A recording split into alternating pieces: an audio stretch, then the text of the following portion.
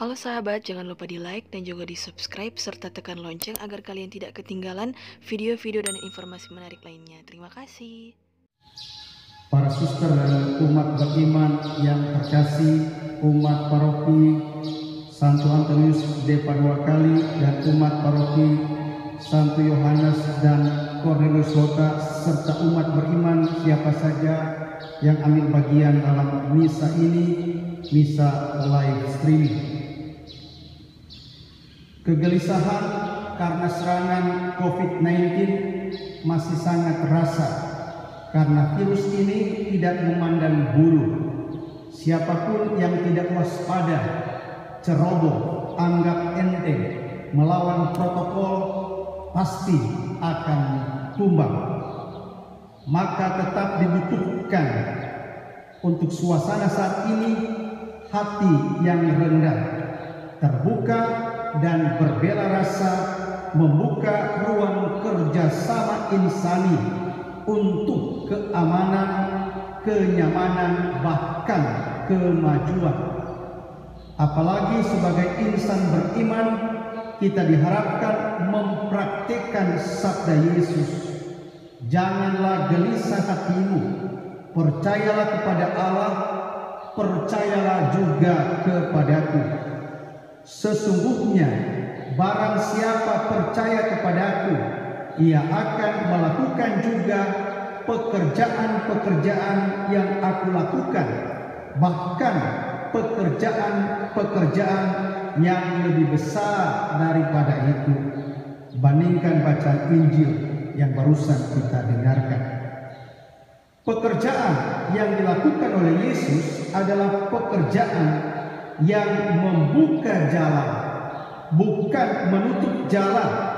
Artinya membuka peluang, membangkitkan potensi, merangsang prestasi, terus merangsang etos kerja. Pekerjaan kebenaran bukan pekerjaan untuk ketenaran saja, tapi miskin keberdayaan untuk terciptanya persaudaraan manusiawi. Pekerjaan menjaminkan hidup. Hidup bukan sekedar kenyang jasmani, tetapi hidup yang berdaya mulia, bebas rekayasa, koruptif, konsumtif, dan hedonis.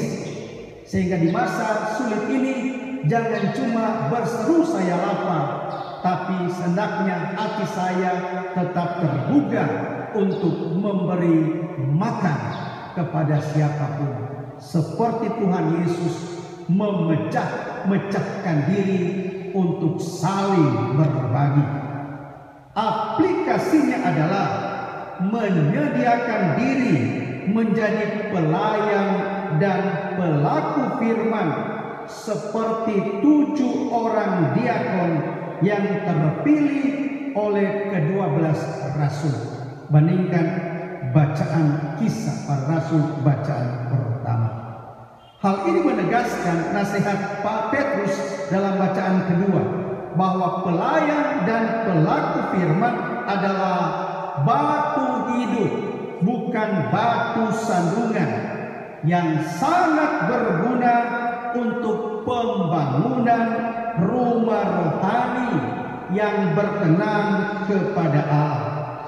Membuat kita menjadi insan-insan istimewa di hadirat Allah karena sungguh-sungguh serius melaksanakan kehendaknya sehingga sangat suka memaklumkan perbuatan-perbuatan agung Allah yakni keluar dari perbuatan kegelapan dan masuk ke dalam terangnya yang hidup dan menakjubkan. Umat beriman yang terkasih serta para suster yang tercinta. Saat ini kita tetap dalam suasana memprihatinkan. Pintu gereja masih tertutup. Perjumpaan umat dalam doa-doa bersama lainnya. Rosario ibadat wilayah rohani, ibadat kelompok kategorial belum diizinkan dilaksanakan. perayaan sakramental lainnya pun belum boleh dilangsungkan. Seakan iman kita stagnan, terhenti. Inilah ujian pun tantangan. Kita semua diharapkan tetap membangun eklesia domestika, gereja rumah tangga sebagai rumah rohani yang membuat pribadi kita sendiri bahkan seluruh keluarga sedia diri menjadi pelayan dan pelaku firman. Mulai dari hal-hal yang kecil dan sederhana seperti tahan diri, stop kaki gatal. Berkreasi dalam rumah dan halaman, menjaga diri agar semakin imun pun tumbuh dalam iman, mengatur lagi hidup perekonomian rumah tangga yang hemat dan visioner. Artinya apa? Jaga-jaga agar tidak terjerumus dalam kebangkrutan karena salah kelola keuangan rumah tangga. Tetap berjiwa solider, mau berkorban untuk ambil bagian dalam pemeliharaan persekutuan iman di tingkat paroki pun keuskupan bahkan gereja universal.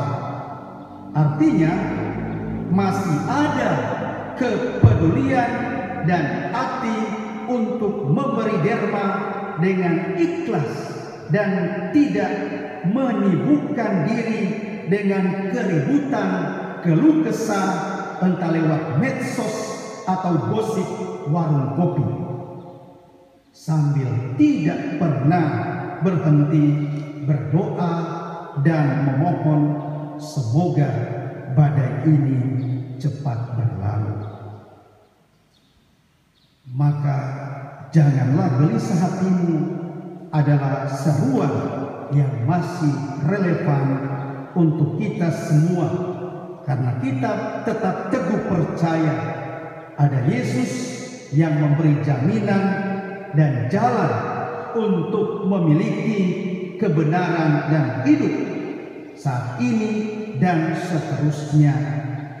Atau seperti semboyan para suster DSC yang sering saya ulang-ulang Allah sudah menolong.